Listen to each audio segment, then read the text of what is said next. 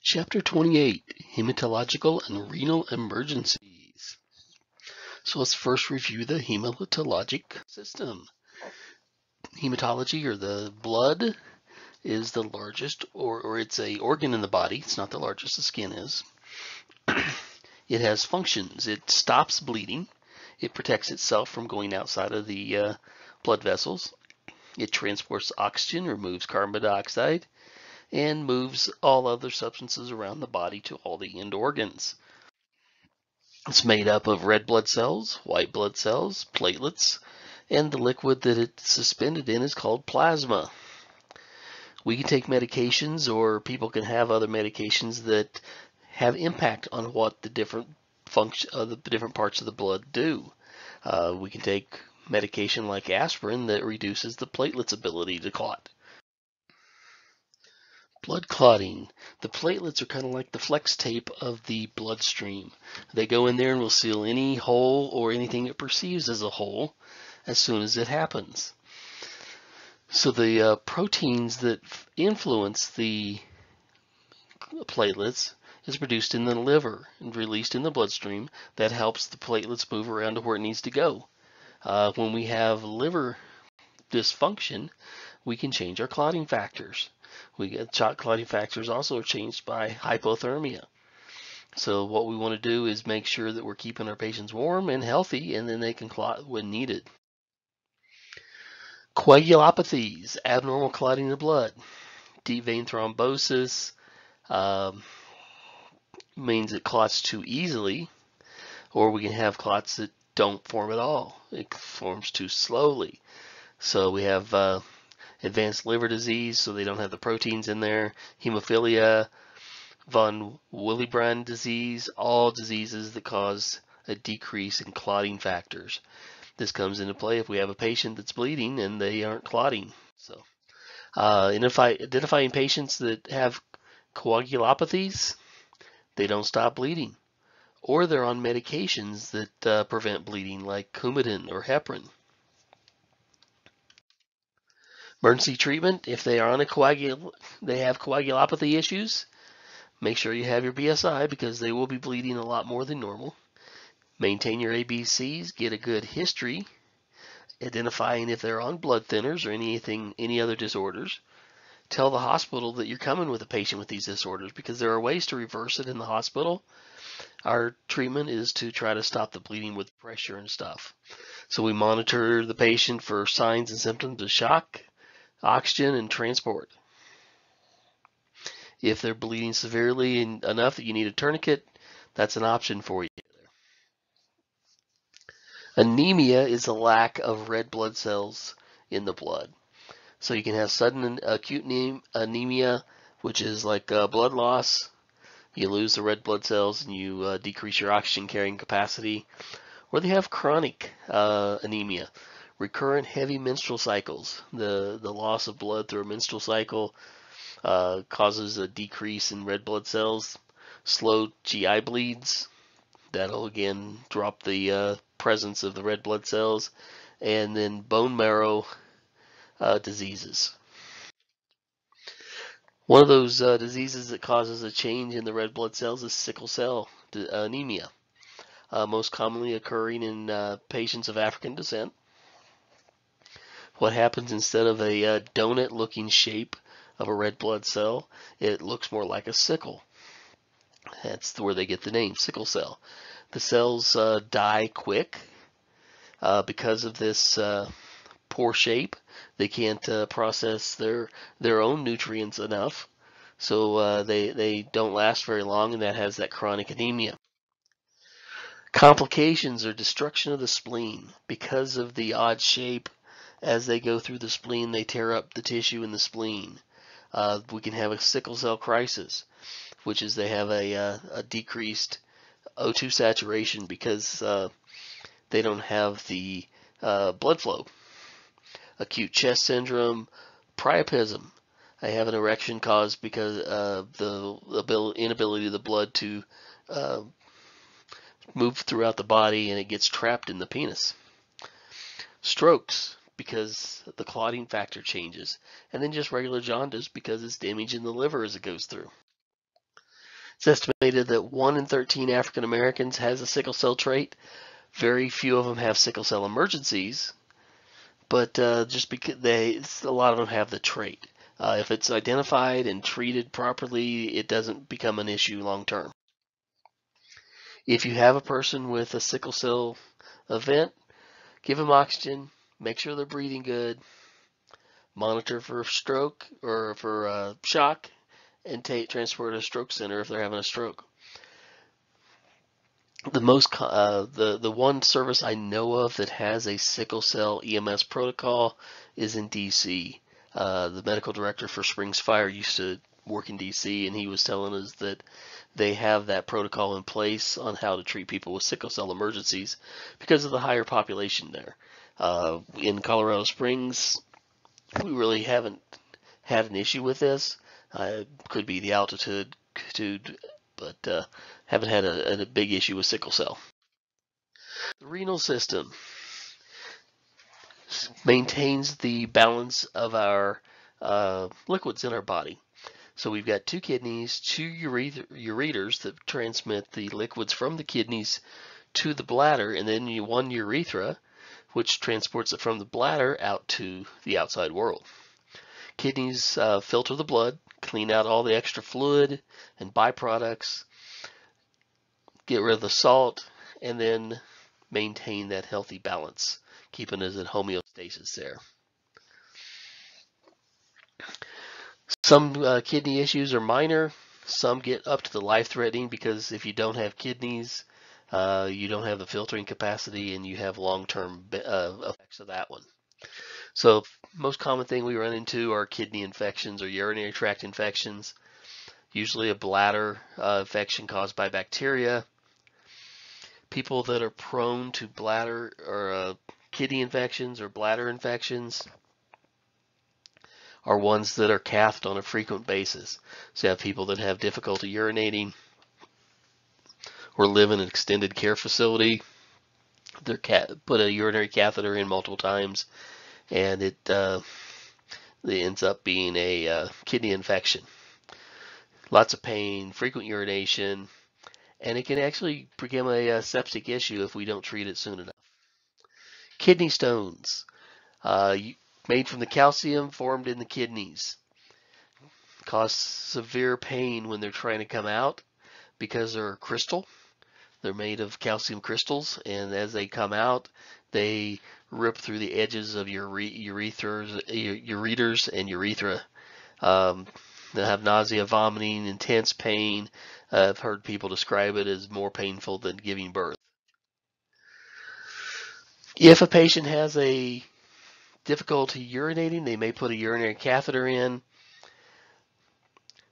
Sometimes we run into problems with these that uh, the, they get infected or get clogs in them. So they end up going to the uh, ER.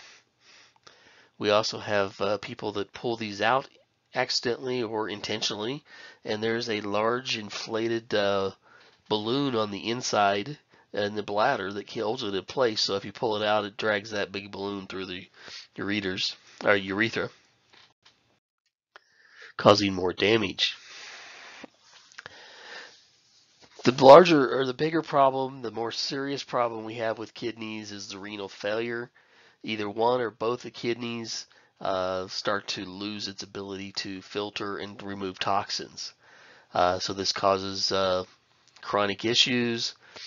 Um, it could be damage from uh, trauma, could be uh, uncontrolled or uh, irreversible trauma that causes the hypoperfusion to the kidneys, or it could be a chronic thing such as uh, uh, untreated uh, diabetes or hypertension. that can cause long-term kidney damage.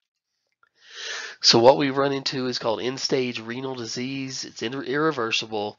They have to go on some type of dialysis to replace the function of the kidneys. So they uh, have a ma machine that pulls the blood out, filters it, takes off the excess fluid and waste products, and then puts it back in.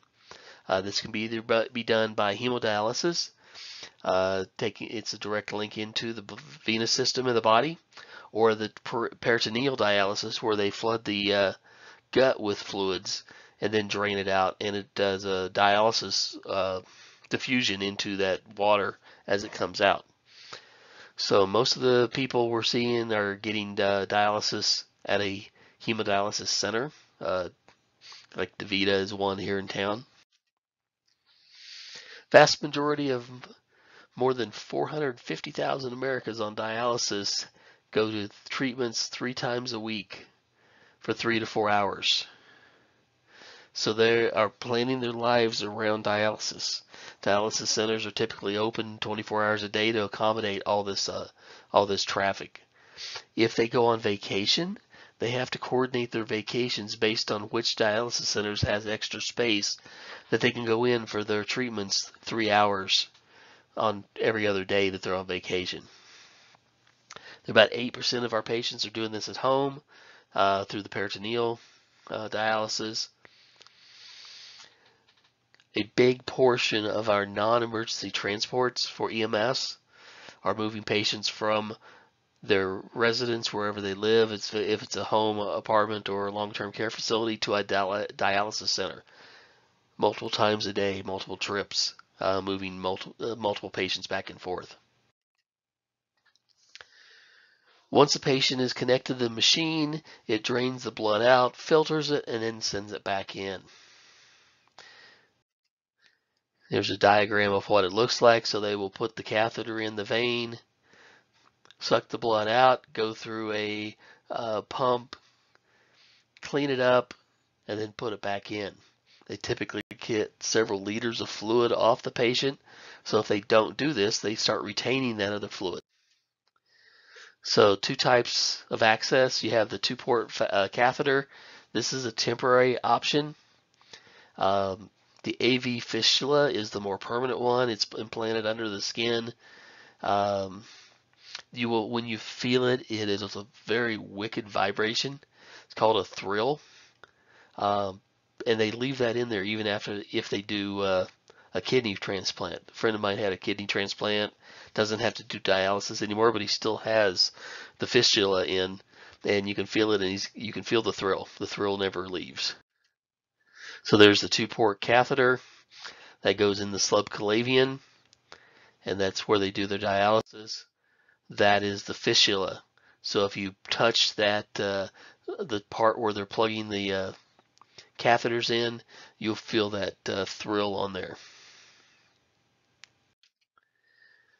Peritoneal di dialysis is when they uh, put the fluid into the gut.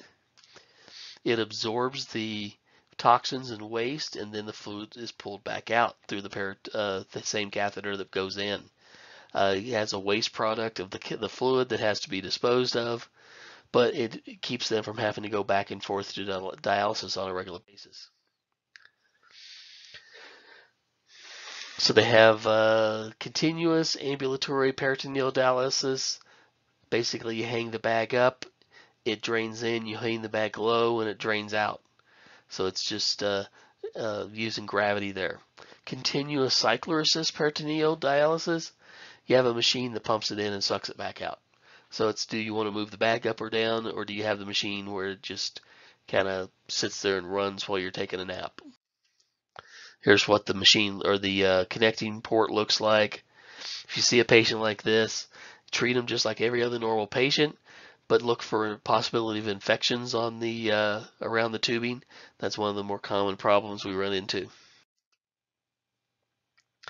Medical emergencies. Um, sometimes they have uh, the loss of the normal kidney functions, and then they have complications because the, the dialysis just isn't uh, uh, keeping up, and they get uh, edema and uh, chronic issues there, or they have complications during the dialysis treatment. They can have clots, they can have uh, pulmonary embolisms, or they can uh, have severe bleeding if it becomes dislodged probably once or twice a day you can hear somebody get dispatched to a dialysis center for an emergency. Something's happened that uh, causes a problem while they're doing dialysis. If they miss dialysis, now that extra fluid is going to be backed up in their system, so they'll have edema, they'll have shortness of breath because of the pulmonary edema, and they'll have electrolyte disturbances, which create EKG disturbances or heart disturbances. So it's all kinds of problems if they're not getting their dialysis on a regular basis. If they miss dialysis, your treatment, pretty straightforward. Treat them just like a CHF. Uh, you get the vital signs, put a position of comfort, oxygen, CPAP. Be prepared for AED if you need, if the patient goes into cardiac arrest and transport to an appropriate facility. If they have bleeding, direct pressure, make sure you're getting good pressure on it. If you have to, go to a tourniquet because these are large ports and they will bleed a lot. So you need to stop the bleeding. The other problem they run into is a uh, infection, uh, some type of contamination, the fistula or the catheter. So those are uh, not a uh, acute issue that we're going to treat pre-hospital, but we need to be aware of them so we can identify that to the hospital when we go to the, take the patient in. Other, if you're treating them with a uh, some type of complication, make sure you use uh, get your ABC secured, control the bleeding. Um, you also use hemostatic dressings. Forgot about that one. Use a tourniquet, give them oxygen. Treat for shock. If they are, uh, if you think they've got an infection, take the fluid with you. That's something the lab can check on and see if we have issues there. Transplant place, transplant, transplant patients. Uh, kidneys are the most common transplanted organs. They do about 12, 21,000 a year. Uh, once they get those drugs, then they have to uh, be on rejection uh, medication for the rest of their lives. They're highly susceptible to infections. And the the weird thing that I didn't know until my friend got his transplant, they put the ki new kidney in the abdominal cavity towards the front in one of the lower quadrants. They don't put it retroperitoneal where the old kidneys were. They leave those in place and replumb it to a one in the front. Uh, so it's it's interesting uh, to kind of see that process, but he's kind of protective of that area now because that's his only kidney up front. So, uh, any questions? Document them, bring them to class, and we'll discuss them. Thanks, and have a great night.